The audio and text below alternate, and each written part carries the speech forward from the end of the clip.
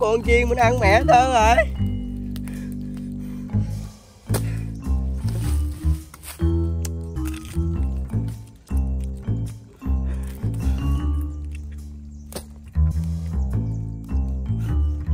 Nhớ đăng ký nha các bạn. Nếu các bạn thấy video này hay hãy cho một like subscribe. Quên nữa nhớ đăng ký chuông và theo dõi hai anh em mình à, tiếp tập tập sau nha anh em.